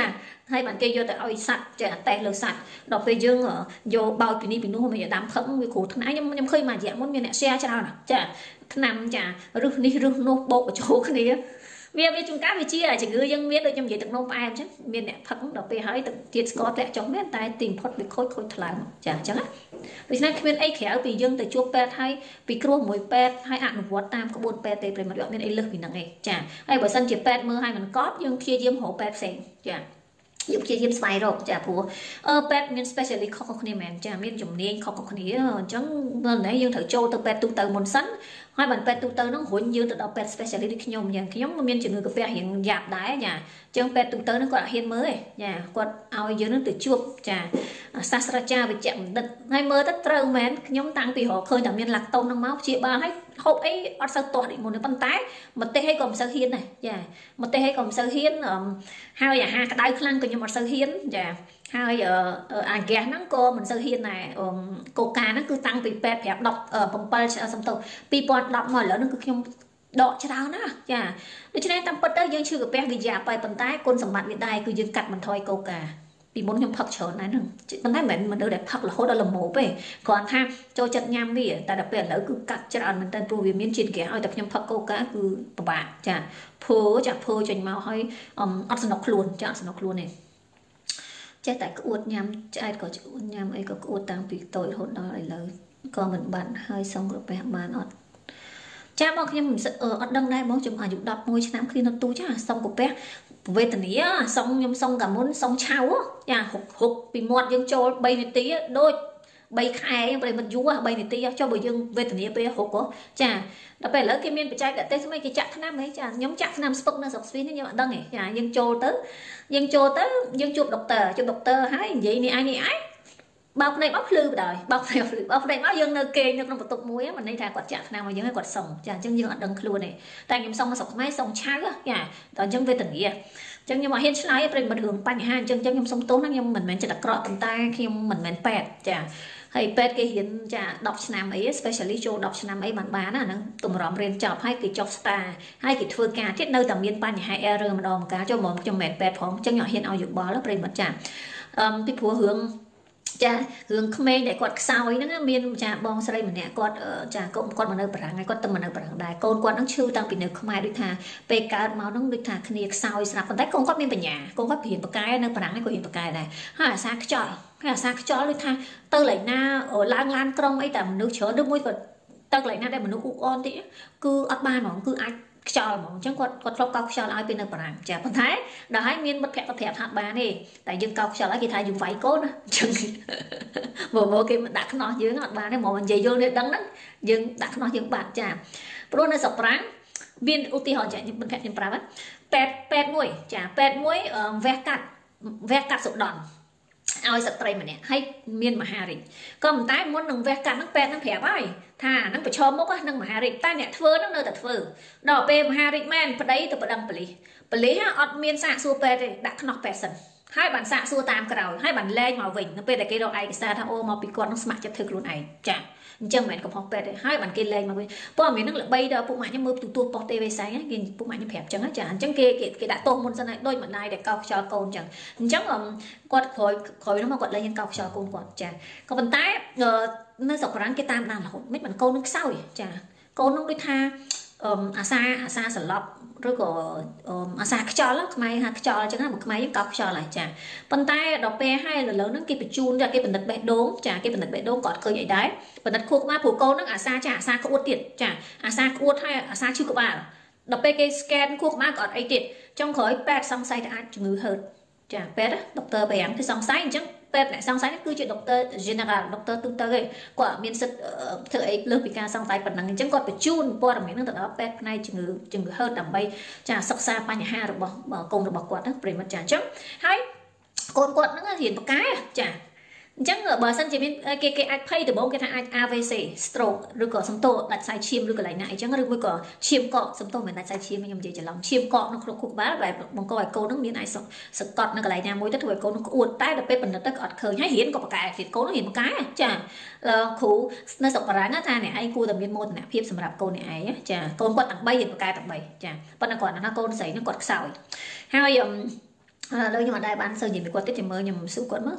អឺសំទោសខ្ញុំមិនមែនយករឿងផ្ទាល់ខ្លួនគេមកនិយាយទេគាត់ខ្ញុំចង់ឲ្យជាឧទាហរណ៍ចាហើយគេអត់បាននិយាយថាអ្នកណាជាអ្នកណាទេគេមកឲ្យឧទាហរណ៍ថាអឺក្មេងកើតមកអ្នកខ្លះទៅមានបញ្ហាពីកំណើតខ្សោយមកអញ្ចឹងណាចាដូចកូនគាត់នឹងកើតមកដូចថាវះចាគាត់វះទៀតចាអញ្ចឹងគ្នាខ្សោយមកហើយដល់ពេលអញ្ចឹងទៅវាបន្តអាភាពខ្សោយរហូតមកដល់ស្រុកប្រាំងប៉ុន្តែតែខ្សោយប៉ុន្តែគេគេឲ្យផឹកវីតាមីនផ្ដេសផ្ដាស់ឲ្យប្រិមិត្តអឺគាត់ប្រាប់ខ្ញុំថាអ្នកនៅស្រុកខ្មែរណាហើយចិត្តដល់ស្រុកប្រាំងហើយកូនឲ្យស្គមស្គមមិនកុំឲ្យផឹកវីតាមីនហើយប្រទេសបារាំងសបោវីតាមីនចឹងអីដល់ហើយគាត់ថាមានណាគេឲ្យផឹកប្រេះប្រដាតើតែមានពេទ្យសរសេរវិជ្ជបញ្ជាថាចាំបាច់អូថាកូននឹងខ្វះនេះខ្វះនោះចាអាហ្នឹងបានគេឲ្យផឹកផឹកចាសំទោសឲ្យផឹកតែដល់ពេលបណ្ឌិតទៅកូននឹងគ្មានខ្វះវីតាមីនអត់អត់ខ្លាយទាំងអស់ចាអញ្ចឹងជាមិនផឹកទៅទោះបីជាគាត់គាត់ស្គមក៏ដោយប៉ុន្តែគាត់មិនមែនខ្វះសារធាតុចិញ្ចឹមទេចាអញ្ចឹងបើផឹកទៅវាទៅលើសវិញចាលើសវីតាមីនវិញដូច្នេះហើយគេឲ្យផឹកគេហើយគេគិតថាកូននឹងអាចមានបញ្ហាជំងឺហឺតអញ្ចឹងប្រិមិត្តអញ្ចឹងដូចតែបងស្រីសួរខ្ញុំថាកូនគាត់នឹងអាយុ11ឆ្នាំគាត់ចេះតែក្អួតចាគាត់ចេះតែក្អួតញ៉ាំឆ្អែតក៏ក្អួតមិនញ៉ាំអីក៏ក្អួតអឺពេលដែលកើតមកនោះជួនកាលទឹកខ្សោយមកស្រាប់ចា ដូចខ្ញុំមានមិត្តភ័ក្ដិខ្ញុំពីក្មេងចាមិត្តភក្ដិខ្ញុំនឹងរៀនថ្នាក់បាក់សំសិក្សាបឋមសិក្សាមួយគ្នាឥឡូវធ្វើដុកទ័រចាឥឡូវធ្វើដុកទ័របកែទៀតចារៀនបកែម្នាក់ហ្នឹងចាកូននឹងថាខ្ញុំហៅម្នាក់ហ្នឹងមិត្តភក្ដិខ្ញុំស្ទឹកចិត្តដិតហើយគាត់ហ្នឹងអាសាខ្យល់ទៅរៀនម៉ែកោខ្យល់ឲ្យរហូតចាអត់ដោយសារគាត់ជិះម៉ូតូក៏ក្អួតដែរជិះម៉ូតូក៏គួរដែរតែអត់មានពាក់ព័ន្ធមួយចាជំងឺឈាមកកក្នុងគ្រប់បាយទាំងអស់គឺកូននឹងខ្សោយឲ្យស្គមចាស្គមហ៎ខ្ញុំ ឆ្ងល់នេះក៏ចេះតែកោខ្យល់អញ្ចឹងខ្ញុំមិនដឹងហ៎ចាហើយបានវាថាមកពីម៉ែវាឲ្យតែវាក្អួតកោខ្យល់ហើយចាតែតាមពិតអាហ្នឹងកោខ្យល់ក៏អត់ល្អដែរចំពោះក្មេងចាវាដាច់គ្រាប់ឈាមអីអញ្ចឹងណាវាបែកគ្រាប់ឈាមចាទៅពេលយើងយើងប្រើវិធីសាស្ត្រទៅលើក្មេងហើយណាមួយវាដូចខ្ញុំគិតថាអត់ល្អហើយសម្រាប់កូនក្មេងអញ្ចឹងយើងកុំបាច់កោខ្យល់ទេប៉ុន្តែយើងតាមដានណាដល់ពេលឥឡូវពុកម៉ាក់ខ្ញុំហ្នឹងធ្វើធ្វើដុកទ័រនៅពេទ្យកាឡាម៉ែតចាផ្នែកផ្នែកស្ត្រីចាដុកទ័រផ្នែកស្ត្រីទាំងក្នុងផ្នែកឆ្លងតលេ ចឹងចឹងជួនកាលវាដល់ដំណាក់កាលណាមួយទៅអាភាពខ្សោយវាបាត់ចឹងណាចាដឹងថាយ៉ាងម៉េចដែរករណីហ្នឹងវាប្រែប្រួលរាងកាយមនុស្សប្រែប្រួលអញ្ចឹងប៉ុន្តែសំខាន់យើងតាមដានដែរចាយើងត្រូវយកទៅតាមដានរហូតចា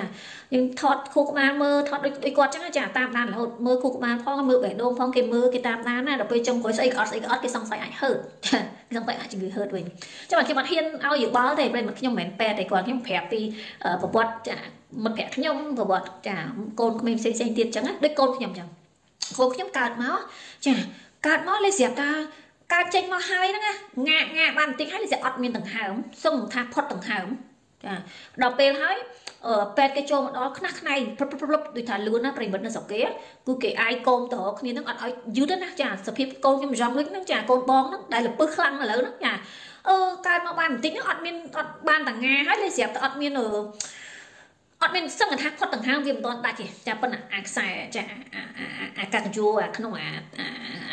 កុំព្យូទ័រហ្នឹងវាវាវាយ៉ាងចង់ស្មើប្រិមិត្តវាស្នេះចង់និយាយថាវាខ្សោយទៅខ្សោយទៅហើយស្រាប់ថាមកមកសទុះចាឈ្មោះហ្នឹងគេទូរស័ព្ទហៅដុកទ័រទូធំមកឡើងពេញបន្ទប់ចាគេយកឧបករណ៍មកបន្ថែមទៀតគេជួយកូនខ្ញុំបានចារហូតដល់អាហ្នឹងវាមានមកធម្មតាវិញចាចង្វាក់បេះដូងហ្នឹងហើយចាគេអត់ភ្លេចទេ ស្រុកគេហ្នឹងគឺគេអត់ភ្លេចហ្មងគេហៅថាគេតាមដានដូចលក្ខណៈថាកុកវាអត់ភ្លេចជុំអញ្ចឹងចាតាមដានរហូតស្រាប់ទៅហើយព័ត៌មានទាំងអស់ហ្នឹងពេលដែលខ្ញុំយកកូនទៅពេទ្យឯកជនពេទ្យពេទ្យពេទ្យកុមារព្រោះពេលយើងកើតកូនហើយយើងត្រូវទៅ check up ជាមួយពេទ្យឯកជនហ្នឹងរាល់ពេលពេលពេលតែពេទ្យជាអ្នកកំណត់ថ្ងៃដែលយើងទៅពេលណាអញ្ចឹងឯកសារហ្នឹងពេទ្យឯកជនហ្នឹងតាមដានដឹងដឹងអស់ប្រវត្តិកូនខ្ញុំហើយពេទ្យឯកជនហ្នឹងរុញកូនខ្ញុំឲ្យទៅពេទ្យលោក Richner នេះចា ឲ្យទៅពេទ្យធំពេទ្យកុមារដែលលោក Richner ធ្វើការនៅក្នុងពេទ្យហ្នឹងមុនពេលដែលគាត់ទៅធ្វើការនៅប្រទេសខ្មែរចាមុនគាត់ទៅធ្វើការប្រទេសខ្មែរនៅឆ្នាំ70ទៅលើកទី1ឆ្នាំ70ទៅ75ឯប្រិមិត្តគឺជា75ឯចាពេលសង្គ្រាមឬក៏មុនហ្នឹងចាអឺគាត់ទៅលើកទី1ដូច73 74ហ្នឹងឯងធ្វើការបានមួយឆ្នាំហ្នឹងផ្ទុះចាប៉ុលពតវាយពេញបែកទៅគាត់ក៏ត្រឡប់មកស្វីសវិញ ចាឲ្យក្រោយមកពេលដែលសន្ធិសញ្ញាទីក្រុងប៉ារីសសម្ដេចនរោត្តមសីហនុជួបគាត់នៅទីនៅស្រុកប្រាំងក៏ហៅគាត់មកត្រឡប់មកវិញរហូតដល់គាត់ធ្វើការរហូតដល់គាត់កើតចាជំងឺ Alzheimer ហើយមកស្លាប់ចានៅប្រទេសស្វីសវិញនៅក្នុងឆ្នាំ2017ចា18 2018គាត់លាចាក់លោកចាអញ្ចឹងខ្ញុំដុកទ័រឯកជនហ្នឹងចារុញកូនខ្ញុំចាឲ្យទៅឆែកពីព្រោះគាត់គ្រាន់ជាពេទ្យឯកជនអត់មានអត់មានឧបករណ៍គ្រប់គ្រាន់ទេចាដើម្បីឆែកបេះដូងរហូត គេឲ្យយើងថាកូនយើង3ខែត្រូវទៅឆែកម្ដងហើយប្រហែលខែទៀតត្រូវទៅឆែកម្ដងទៀតដើម្បី make sure ថាតើកូនយើងមានបញ្ហាអីដែលកើតមកវាអត់មានកូនយើងអត់មានសឹងថាដង្ហើមសឹងផុតចា គេឆ្ងល់គេរកមូលហេតុឃើញរហូតដល់ទឹកទៅពេទ្យដែលលោក Richner គាត់ធ្លាប់បំពេញការងារនៅពេទ្យកុមារគឺពេទ្យធំនៅ Zurich ហ្នឹងគាត់នៅតែពេទ្យរត់ឃើញមូលហេតុក៏ប៉ុន្តែគេដាក់ឧបករណ៍លើកូនយើងឡើងកណ្ដេញកណ្ដោចាឧបករណ៍ហ្នឹងគេឲ្យដាក់មកផ្ទះទៀតឲ្យមកផ្ទះសម្រាប់យើងតាមដានពីចាពីពីចាពីការបត់ជើងចាពីការបត់ជើងតូចជើងធំពីការពេលដែលឲ្យយើងចាយើងញ៉ាំហ្នឹងមានជុះមានអីអត់ធម្មតាអត់គេចង់ដឹងចាដល់ពេលតាមដានទៅគឺធម្មតាទាំងអស់ ចុងក្រោយបានពេទ្យរហូតអត់ឃើញចម្លើយថាមកពីស្អីឃើញទេប្រិមិត្តអញ្ចឹងបញ្ហាខ្លះពេទ្យរហូតឃើញថាមកពីស្អីទោះបីបញ្ជូនទៅដល់ពេទ្យធំប៉ុណ្ណាក៏ដោយនៅតែអត់ឃើញប៉ុន្តែកូនយើងសុខភាពធម្មតាល្អទាំងអស់ចាដូច្នេះហើយ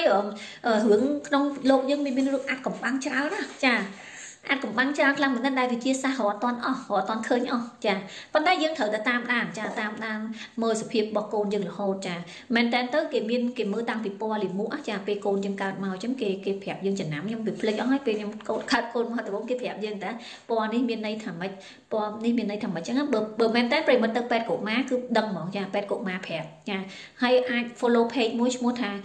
ចាកានីម៉ាមីចាម៉ាមីកានីកាចាមើលខ្ញុំ share នៅក្នុង page ខ្ញុំឲ្យគាត់គ្រូពេទ្យល្អចាគ្រូពេទ្យដែលមានគុណធម៌ខ្ពស់ហើយគាត់អត់ចាំបាច់ថាត្រូវតែកូននឹងផឹកវីតាមីនផឹកអីបើគាត់មើលទៅអត់ចាំបាច់គាត់ឲ្យទេចាគាត់ឲ្យហើយគាត់ដូចពង្រៀនអំពីរបៀបមើលពណ៌របស់ចាពណ៌របស់ទី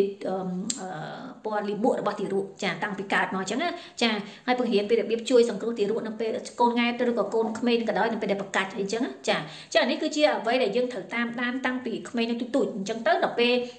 មានបញ្ហាយើងងាយស្រួលនឹងប្រាប់ពេទ្យថាអូកូនខ្ញុំពីមុនពេលកើតមកគាត់មានលាមកគាត់ដូចជាប្លែកឬមួយដូចឧទាហរណ៍ខ្ញុំអញ្ចឹងកូនខ្ញុំឈឺខ្ញុំប្រាប់ពេទ្យថាពេលកើតមកមានបញ្ហាអត់ដកទាំងអត់មានទាំងហើមានអីចាអញ្ចឹងពេលយើងក្តាប់ព័ត៌មានទាំងអស់ហ្នឹងបានពេលយើងទៅជួបពេទ្យពេទ្យស្រួលវិភាគចាស្រួលធ្វើការវិភាគដល់ពេលយើងអត់មានព័ត៌មានអីនៅក្នុងខ្លួនយើងទេពេទ្យពិបាកវិភាគដែរតែធម្មតានៅស្រុកគេគឺព័ត៌មានហ្នឹងមានជានិច្ចតែម្ដងគឺគេទៅសេទុកនៅក្នុងកាត់ណេមួយកូននឹងកើតគឺមានទាំងអស់ហ្នឹងគេទៅសេប្រាប់ពីប្រវត្តិជំងឺប្រវត្តិអីចឹងណាប្រិមិត្តចាវាមានក្នុងឯកសារនឹងទាំងស្រុងតែម្ដងសម្រាប់សម្រាប់តែពេលយើងទៅពេទ្យណាផ្សេងផ្សេងទៀតឯកសារនិយាយអំពីព័ត៌មានរបស់កូនយើងវាមានទាំងអស់អញ្ចឹងគេងាយស្រួលនៅក្នុងការចានៅក្នុងការវិភាគសម្រាប់បងរដ្ឋាចាអាចយកកូនទៅចាទៅពេទ្យគុណធបុផាចាអឺដើម្បីយកទៅព្រោះនៅក្នុងពេទ្យគុណធបុផាសបោថ្នាំចាមានថ្នាំដែល ឆ្នាំដែលបកាយបកាយច្រើនណាចាឆ្នាំល្អល្អច្រើនហើយដែលមិនពេទ្យគាត់ថាមានឆ្នាំល្អល្អច្រើនខ្ញុំខ្ញុំនិយាយប្រវត្តិឡើងហ្នឹងតិចដោយសារសម័យខ្ញុំស្គាល់លោក B Richner ចាដោយសារលោក Richner ហ្នឹងគាត់ទៅអង្គាសចាថវិកានៅក្នុងធនាគារចាអញ្ចឹងទៅគាត់ស្គាល់ជួបអញ្ចឹងទៅអឺលោក Richner គាត់និយាយថាអឺអ្វីដែលគាត់មិនគ្រប់គ្រងសម្រាប់ឲ្យថ្នាំទៅលើកុមារគឺអឺគោលការណ៍ខ្លះហើយគាត់ហ្នឹងចាជាជាអ្នកដែលផ្ដឹងផ្ដល់ជាមួយអង្គការធំធំ ចាអង្គការធំធំដូចជាអង្គការ WHO អីហ្នឹងក៏ធ្លាប់លោក Richner ធ្លាប់ប្តឹងផ្ដល់ដែរប្តឹងផ្ដល់ដល់ ICGC ដល់សំទោស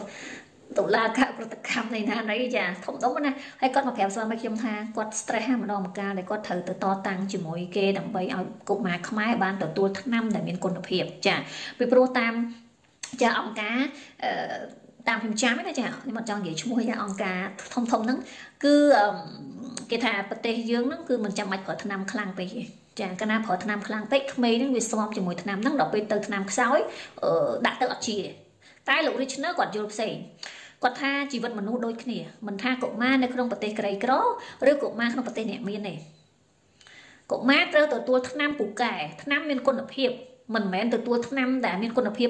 ទៀបជាងដើម្បីឲ្យរាងកាយកុមារនឹងស៊ាំនឹងអាថ្នាំទៀបនឹងហើយមិនអាចចង់និយាយថាអឺ ដល់ពេលដាក់ថ្នាំខ្ពស់វាហៅតែប្រកែហើយវាទៅព្យាបាលទៅលឿនក៏ប៉ុន្តែដល់ពេលអត់ដាក់ថ្នាំខ្ពស់ទៅវាអត់អីព្យាបាលចាអញ្ចឹងក្នុងមតិផ្សេងអង្គការផ្សេងហ្នឹងគេខ្លាចថាអត់មានអត់អាចរកបានថ្នាំអាខ្ពស់ខ្ពស់អាគុណភាពខ្ពស់ហ្នឹងគ្រប់ពេលបានអញ្ចឹងគេឲ្យថ្នាំមកយើងហ្នឹងគឺឲ្យថ្នាំគុណភាពល្មមឯណាចានេះរឿងផ្ទៃក្នុងប៉ុន្តែមិនមែនផ្ទៃក្នុងទេប្រិមិត្ត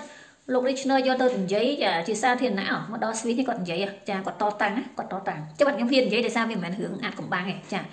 អឺ គាត់ថាជីវិតកុមារខ្មែរគឺមានជីវិតតម្លៃស្មើគ្នាទោះបីមកពីកុមារក្រីក្រក៏ដោយមានជីវិតមួយគឺមានតម្លៃដូចជីវិតកុមារមកពីប្រទេសអ្នកមានឬក៏គ្រួសារអ្នកមានកាលណាបើស្លាប់ហើយគឺផុតហើយអត់មានអ្នកដែលមានជីវភាពអ្នកមាននៅប្រទេសអ្នកមានហ្នឹងការស្លាប់ហ្នឹងមានតម្លៃខ្ពស់ជាងគឺដូចតែគ្នាចាជីវិតមួយស្លាប់ដូចគ្នាដូច្នេះគាត់ចង់ឲ្យកុមារខ្មែរទទួលបានតែថ្នាំណាដែលមានគុណភាពទេ ចាឆ្នាំនឹងអត់គុណភាពក៏អត់ចង់ឲ្យក៏អត់ចង់ឲ្យតែម្ដងចាហើយគាត់សូមសូមប្រឆាំងទៅនឹងគំនិតដែលថាឲ្យឆ្នាំមានគុណភាពដល់ពេលអត់ដល់ឆ្នាំហ្នឹងអត់អីព្យាបាលដល់ពេលអញ្ចឹងគាត់ទៅរចាគាត់ទៅដើរតាក់ទងតាមក្រុមហ៊ុនផលិតឆ្នាំចឹងនៅស្រុកស្រីមានក្រុមហ៊ុនផលិតឆ្នាំពីរដែលធំគឺ Roche មួយនិង Novartis Novartis មួយចាអញ្ចឹងខ្ញុំយល់ខ្លួនឯងកន្លែងហ្នឹងគាត់ប្រកាសទៅតាក់ទងហើយចាដើម្បីសុំជំនួយឆ្នាំបកែបកែចា យកទៅព្យាបាលកុមារអញ្ចឹងបាននៅពេទ្យគុណធឧបាហ្នឹងគឺសម្បូរថ្នាំល្អល្អច្រើនចានេះគឺជាចាស្នាដៃគឺជាភាពប្រឹងប្រែងរបស់លោក Bay Original ដែលគាត់ដើរទៅសុំចាដើរទៅសុំពីនេះពីនោះឬក៏គាត់លេងអា cello គាត់ហ្នឹងដើម្បីរៃអង្គាសចារៃអង្គាសយកលុយទៅឧបត្ថម្ភពេទ្យគុណធបុផាអញ្ចឹងត្រង់ហ្នឹងហើយដែលពេទ្យនឹងមានថ្នាំបកែបកែច្រើនចាអញ្ចឹងបងអាចយកកូនទៅពិគ្រោះជាមួយនឹងពេទ្យគុណធបុផាទៅអំពីមូលហេតុដែលកូនយើងចិត្តតែក្អួតអញ្ចឹងណាចាដើម្បីពីនៅក្មេងៗអញ្ចឹងយើងអាចរកឃើញបញ្ហាហ្នឹងទាន់ពេលវេលាយើងកុំចង់យើងមិនបាច់កុំឲ្យទុកឲ្យវាចេះយូរទៅយូរទៅពីព្រោះចានៅស្រុកនេះគឺបញ្ហាក្មេងគេតាមដានណាចាតាំងពីចាតាំងពីជំងឺក៏ដូចជាការវិវត្តទៅលើភាពវៃឆ្លាតគឺគេតាមដានខ្លាំងពីព្រោះក្មេងនេះគឺជាសសរទ្រូងនៃប្រទេសជាតិចាមិនប្រទេសអាមេរិកចម្រើនគឺដោយសារក្មេងនឹងតែម្ដងអញ្ចឹងគេតាមដានខ្លាំងមកណាហើយមួយទៀតចា ខ្ញុំមានព័ត៌មានអំពីកុមារម្នាក់នៅប្រទេសអូស្ត្រាលីហ្នឹងកូនកាត់ចាកូនកាត់ខ្មែរនិងអ៊ីស្លាមអ៊ីស្លាមហ្នឹងគឺសម្បត្តិពីរនាក់ហ្នឹងអូស្ត្រាលីទាំងពីរគាត់តែដើមកំណើតខ្មែរនិងស្វាមីគាត់ហ្នឹងគឺដើមកំណើតឥណ្ឌូនេស៊ីចាហើយបានកូនហ្នឹងគឺគេហៅកូនដែលដែលចាប់ដាក់ប្រិមិត្តខ្មែរហៅចាប់ដាក់ចា separate តាម spam អញ្ចឹងណាចាគាត់ពិបាកមានកូនអញ្ចឹងគាត់យកកូនចាប់ដាក់ហើយដល់ពេលបានណាកូននឹងឆ្លាតចាកូននឹងឆ្លាតមែនតើកូននឹងអាយុ2ឆ្នាំជាងចេះនិយាយប្របាច់ ចានិយាយបានច្រើនក៏ប៉ុន្តែឥឡូវហ្នឹងគ្រូផ្ញើសារមកពុកម្ដាយថាកូនហ្នឹងនិយាយអត់និយាយសឹកហ្មងចាសួរអីក៏អត់ឆ្លើយអត់និយាយហ្មងដោយសារកូនហ្នឹងមើល iPad ច្រើនពេកពុកម្ដាយរវល់ធ្វើការចាពុកម្ដាយរវល់ធ្វើការអញ្ចឹងចាំចាំគឺកូនត្រូវមើលទូរស័ព្ទមើល iPad ហើយដល់ពេលវា over ប្រិមិត្តវាលើកកម្រិតចាឥឡូវកូននឹងលែងនិយាយម៉ែឪបាក់ចិត្តមែនតើពួកកូននោះស្អាតចាហើយកូននោះឆ្លាតទៀតនិយាយឡើងជាច្រាច់ចាបងអូនស្រីខ្ញុំប្រាប់ថាកូននោះនិយាយសំដីឡើងគេចាក់ទឹកម្លេចហើយ2ឆ្នាំកន្លះ តែឥឡូវកូននឹង4ឆ្នាំចាគឺលែងចេះនិយាយលែងនិយាយហ្មងចាសួរអីក៏អត់ឆ្លើយដែរអញ្ចឹងគេគិតថាកូននឹងមានបញ្ហាចាអូទីសអូទីសមកដោយសារប្រហែលជាពាក់ព័ន្ធនឹងឧបករណ៍អេឡិចត្រូនិកនឹងច្រើនពេកចាច្រើនពេកតែកំណើតមកមិនមែនមានបញ្ហាហ្នឹងទេអ្នកខ្លះកើតមកមានបញ្ហាអញ្ចឹងហ្មង ចាអ្នកកូនខ្លះកើតមកមានបញ្ហាអត់និយាយហ្មងអាហ្នឹងរឿងមួយដែលពិបាកនៅក្នុងការទប់ស្កាត់ប៉ុន្តែកូននេះកើតមកគឺនិយាយធម្មតាចា2ឆ្នាំជាងនិយាយមកកំភ្លុះប៉ុន្តែដល់ហើយឥឡូវនឹងចូលសាលា kindergarten ណាសាលាបតីលែងនិយាយទៅដោយចាអញ្ចឹងតាក៏ពិបាកចិត្តម៉ែឪក៏ពិបាកចិត្តដែរចាតែកូនអត់ចេះនិយាយទេប្រិមិត្តចាំមកខ្ញុំថារឿង iPad រឿងទូរស័ព្ទហ្នឹងបើសិនជាយើង strict តាំងពីដំបូងមកចា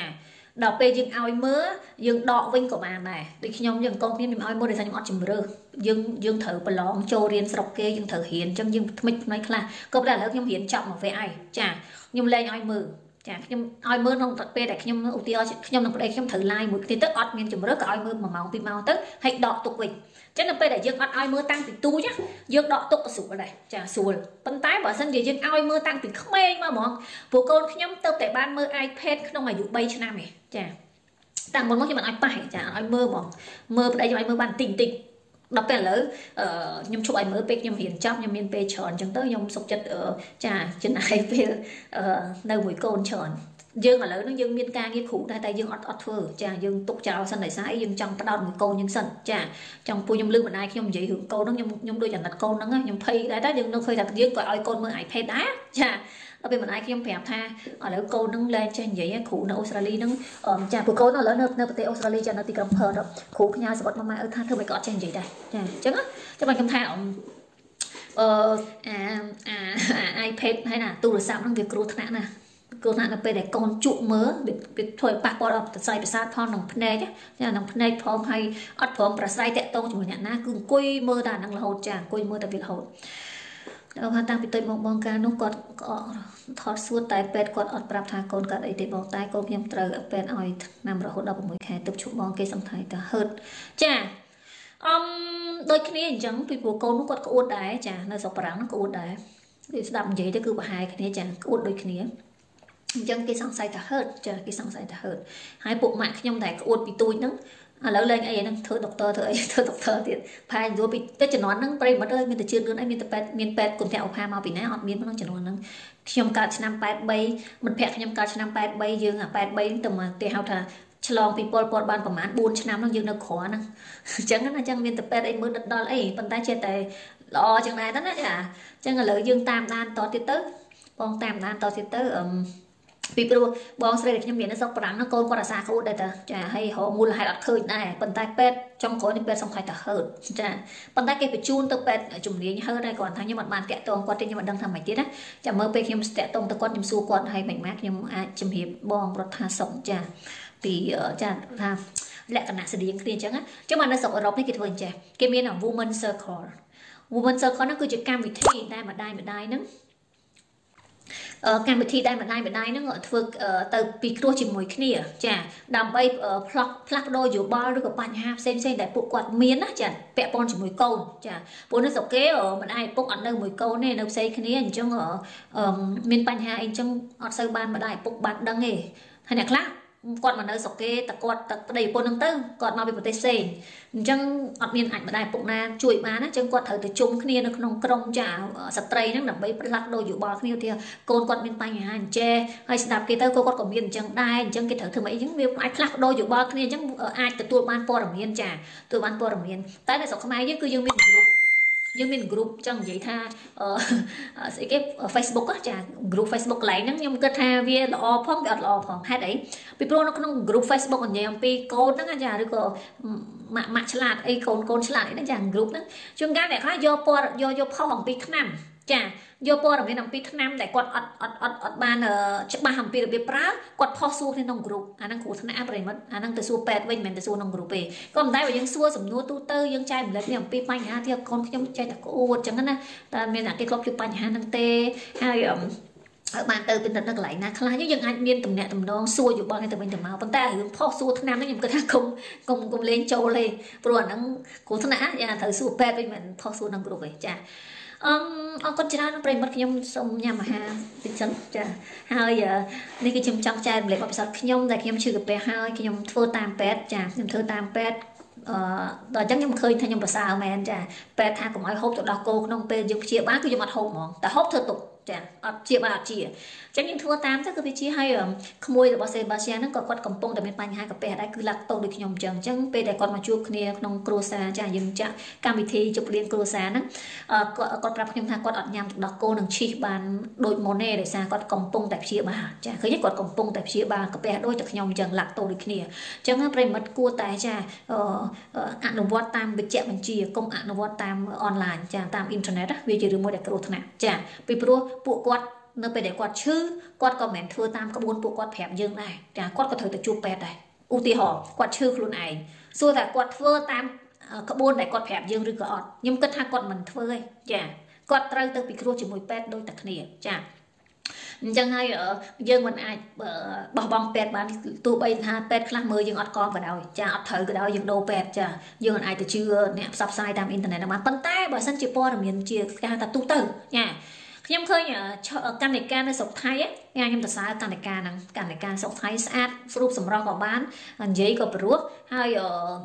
គាត់អត់មាន conflict interest មានន័យថាអត់មានចំនួននៅក្នុងផលប្រយោជន៍បកពេលខ្មែរចំនួនផលប្រយោជន៍ដែរហេតុអីពួកគាត់មិនមែនអ្នកលក់ផលិតផលគាត់មិនអីទាំងអស់អញ្ចឹងពេលគាត់និយាយទៅគឺក្នុងផ្លូវកដាលហើយណាមួយគាត់ហ្នឹងគឺគាត់មានធម៌នៅក្នុងខ្លួនចាអញ្ចឹងពេលគាត់និយាយគាត់តែងតែមានសតិរលឹកគាត់ជានិច្ចចាដូច្នេះហើយគាត់មិនអាចទៅធ្វើអីដែលផ្ទុយពីពីពីពីគុណធម៌បានទេដូច្នេះបើសិនជាយើង follow គាត់គឺល្អខ្ញុំមើលឃើញកូនស្រីនឹងល្អកណិកានៅស្រុកថៃចានៅប្រទេសថៃហ្នឹងអញ្ចឹងប្រិមត្តអាចស្ដាប់គាត់ដើម្បីយកព័ត៌មានទូទៅប៉ុន្តែបើរឿងព្យាបាលអាហ្នឹងយើងអត់អាចទៅទៅស្ដាប់អ្នកណាបានក្រៅតែពីពេទ្យទេហើយបើប្រិមត្តចង់បានចាព័ត៌មានល្អនិយាយពីសុខភាពប្រិមត្តស្ដាប់ page ឬមួយក៏ YouTube របស់លោកគ្រូជ័យវិជាឬក៏ page របស់គាត់ជ័យវិជាតែម្ដងចា profile គាត់ខ្ញុំអត់ដឹងដែរចាប៉ុន្តែគេ share មកយើងយើងចំណាំទុកទៅគាត់និយាយអំពីចាការប្រើប្រាស់ថ្នាំនឹងត្រូវប្រយ័ត្នប្រយែងគាត់និយាយអំពីគ្រូពេទ្យដែលឲ្យថ្នាំគេក៏ត្រូវប្រយ័ត្នប្រយែងដូចគ្នានិយាយរូបគាត់ល្អចា គាត់និយាយមកគឺអត់មាន conflict interest មានថាអត់មានចំនួនទៅលើផលប្រយោជន៍ទេអញ្ចឹងបុគ្គលដែលនិយាយអត់មាន conflict interest អាហ្នឹងយើងគួរស្ដាប់ចាប៉ុន្តែបុគ្គលដែលនិយាយមាន conflict interest ចានិយាយចុះស្អីគេ conflict interest មានន័យថានិយាយចុះនិយាយឡើងគឺមកបោកលោកយើងឲ្យទិញផលិតផលគេអាហ្នឹងហើយហៅថា conflict interest ចាអញ្ចឹងយើងសូមប្រយ័ត្នតិចចាមិនមែនផលិតផលគេស្ដាប់ក្រក់ទេក៏ប៉ុន្តែពេលខ្លះយើងផឹកលើសផឹកផឹកអឺ មិនចាំបាច់ផឹកឲ្យដូចជាផឹកទឹកខ្មេះទឹកអីចឹងខ្ញុំហួសចិត្តប្រិមិត្តចាទៅណែនាំផឹកទឹកខ្មេះទឹកអីមិនប្រិមិត្តចាអញ្ចឹងយើងគួរតែនៅឲ្យឆ្ងាយហើយកុំអនុវត្តតាមចាខ្ញុំមិនមែននិយាយនេះមិនមែនថាចង់ឲ្យគេនឹងលក់លែងដាច់អីទេប៉ុន្តែខ្ញុំវាវានឹកអាណិតទៅលើជីវិតប្រជាជនខ្មែរយើងដែលគ្នាថារកពឹងអ្នកណាវាក៏មិនបានអញ្ចឹងអញ្ចឹងឃើញតែគេច្បាស់លាស់ច្បាស់លាស់អញ្ចឹងទៅក៏ចាចេះតែអនុវត្តទៅចាហើយអ្នកខ្លះអនុវត្តទៅវាមិនទាន់ឃើញអីវាមិនអីណាយ៉ាតែតែវាឃើញអីវាប៉ះពាល់ដល់សុខភាពរបស់យើងហើយខ្ញុំនិយាយថាក្នុងរដូវកាលជំងឺថ្មីថ្មីប្លែកៗនេះកាលណាបើយើងខ្សោយបើយើងរៀនកាយយើងខ្សោយគឺវាយលុកយើងដូចចាលួនខ្លាំងមែនតើតែបើ immune យើងខ្លាំងគឺมันអាចធ្វើអីយើងបានទេចាអញ្ចឹងបានថាយើងត្រូវចារក្សាសុខភាពទទួលទានអាហារធម្មជាតិឲ្យបានច្រើន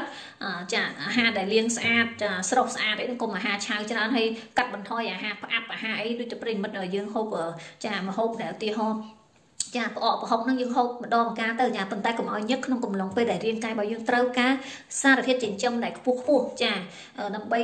ទប់ស្កាត់ទៅនឹងមេរោគ Corona ហើយអា Corona ហ្នឹងខ្ញុំគិតថាវាចប់ហើយព្រោះមានថ្នាំមានអីឥឡូវវាមិនទាន់ចប់ទៀតឥឡូវនៅអឺរ៉ុបនេះចាវឹកវរដែរហ្នឹងវឹកវរដែរខ្ញុំឮថាចាគេចុះខ្សែទៅ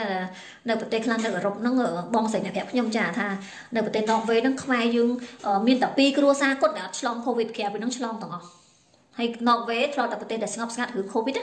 ឡូវក៏ជាប្រទេសមួយដែលចាមានរលកសញ្ញាមួយខ្លាំងដែរអំពីការឆ្លងប៉ុន្តែគ្រាន់ថាប្រទេសគេអភិវឌ្ឍចឹងវាមិនអីទេមកអត់មានអ្នកស្លាប់ទេចាដូច្នេះយើងត្រូវប្រយ័ត្នចាទទួលទានអាហារល្អល្អគ្មានអីអាហារល្អណាជាងអាហារធម្មជាតិដកពីដីមកទេលាងឲ្យស្អាតដាំឲ្យពុះហើយទទួលទានចាញ៉ាំផ្លែឈើធម្មជាតិញ៉ាំអាហារដែលសម្បូរវីតាមីន C ធម្មជាតិញ៉ាំផ្លែក្រូចចាញ៉ាំផ្លែក្រូចហើយកុំញ៉ាំលើសចា ញ៉ាំល្មមមកយើងឆ្អែតហ្នឹងវាមិនលើសទេចាញ៉ាំផ្លែឈើចម្រុះឲ្យបានចូលគ្នាទៅហើយចាអឺ ជៀសវាងនៅអាហារណាដែលញ៉ាំទៅខាតប្រយោជន៍ខាតប្រូតេអ៊ីនខាតកាឡូរីអត់ប្រយោជន៍នឹងយើងកាត់បន្ថយវាទៅចាដើម្បីសុខភាពយើងហើយក្នុងខណៈនេះចាគ្រឿងអាហារបុកចាបុកលហុងគ្រឿងឆៅឆៅនឹងគួរតែកំសាកប្រិមិត្តចាពីព្រោះវានៅក្នុងករណីអាមេរោគអាកូវីដហ្នឹងវានៅបំលែងរហូតដូចវាទៅជាចេញអូមីខុងទិញចេញអីណាអញ្ចឹងចាអញ្ចឹងយើងគួរតែកាត់បន្ថយហូបអាហារឆៅចាសាច់ឆៅចាពងទាពងមាន់ជាឆ្អិនឆ្អិនអឺ បុកលហុងដាក់សាច់ឆៅនឹងគួរតែផ្អាកចាកាត់សិនទៅចាំពេលអាមេរោគនោះវាស្ងប់ចាំយើងត្រឡប់មកដូចដើមវិញចាយើងធ្វើតែវិធីសាស្ត្រធម្មតាធម្មតាធម្មជាតិហើយចាលាងដៃយើងឲ្យបានស្អាត ចាលាងនឹងសាប៊ូឲ្យបានស្អាតទៅវាមេរោគនឹងវាកាត់បន្ថយការឆ្លងពីមួយទៅមួយចាអញ្ចឹងចាអរគុណច្រើនចាសម្រាប់ការចំណាយពេលតាមវីដេអូរបស់នេះខ្ញុំហើយជូនពរឲ្យប្រិមត្តទាំងអស់នៅលើម៉ោងម៉ានប្រិមត្តម៉ោងចាម៉ោង11ហើយនៅប្រទេសខ្មែរយើងគឺយប់ហើយហើយខ្ញុំចាតែងតែនឹកឃើញថាបងប្អូនជនរួមជាតិទាំងអស់គឺជាចាចង់និយាយថាទោះបីតែយើងមិនមែនសាច់ញាតិនឹងគ្នាក្តីក៏ប៉ុន្តែចាចេះតែនឹកឃើញថាយើងចង់ចែករំលែកសេចក្តីល្អទៅឲ្យគ្នាចា ទៅវិញទៅមកដើម្បីជាគំរូមួយឲ្យមនុស្សនឹងចេះចែករំលែកក្តីស្រឡាញ់ពិតប្រាកដដោយមិនគិតពីប្រយោជន៍ស្អីទាំងអស់ចាមានន័យថាអញ្ចឹង បើយើងធ្វើការដើម្បីប្រយោជន៍រកស៊ីចាចិញ្ចឹមជីវិតចិញ្ចឹមកាពះហ្នឹងវាអត់មានអីទៅថាខុសទេចាក៏ប៉ុន្តែយើងចារកស៊ីផងចិញ្ចឹមកាពះផងអញ្ចឹងទៅយើងចែកម្លែកចំណេះដឹងដើម្បីឲ្យមនុស្សយល់ផងទៅចាយើងបង្កើតមិត្តភាពផងទៅគឺយើងយើងមានរឿងជាច្រើនក្នុងជីវិតយើងដែលយើងអាចធ្វើបានដើម្បីជីវិតយើងមានក្តីសុខចាបន្ទាប់ពីយើងចំណាយពេលរលុយចំណាយពេលចារកប្រាក់មកចិញ្ចឹមកាពះជៀសវាងតែយើងចាងប់ងល់នឹងការប្រឹងប្រែងរកស៊ីពេកហើយទីបំផុតចាយើងក៏បានសំសេចក្តីល្អដោយការចែករំលែកទៅឲ្យគេវិញចាអ្នកខ្លះគាត់ចាងប់ខ្លាំងហ្មងចាខ្ញុំមិនមែនថាគេរកស៊ីនឹងខុសទេប៉ុន្តែចង់និយាយថានៅពេលដែលយើងប្រឹង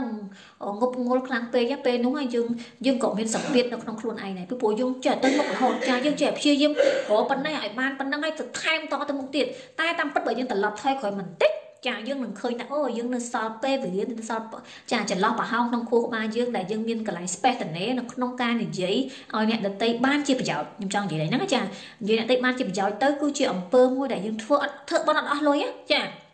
ធ្វើទៀនដោយចៃធម្មតាមានអស់លុយចាអញ្ចឹងដល់ពេលយើងធ្វើអញ្ចឹងយើងអាចធ្វើការបានច្រើនមកដូចខ្ញុំអញ្ចឹងខ្ញុំពិសោធន៍ខ្លួនឯងឃើញចាពិសោធន៍ឃើញហ្មងអាពេលនៅងប់ងល់មួយរលុយប្រិមិត្តប្រឹងប្រែងរលុយដើម្បីដើម្បីគិតថាចេះអូអាយុ30អីត្រូវឲ្យដល់អញ្ចេះ អូអាយុ35ហើយត្រូវដល់អញ្ចេះ